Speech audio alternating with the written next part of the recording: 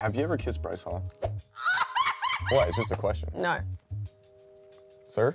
It's a lie. Thanks, John. Thank you, John. Wish you were in the bed with us, buddy. Oh my God, you just like, you knew, you would know that. Why would you lie about that? Because I Andy, are you jealous that me and Zach are cuddling right now?